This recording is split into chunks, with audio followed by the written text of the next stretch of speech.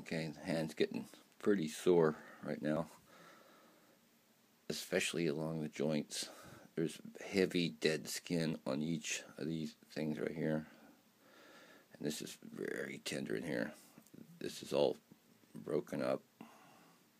See the skin's falling off in places. Where is it here?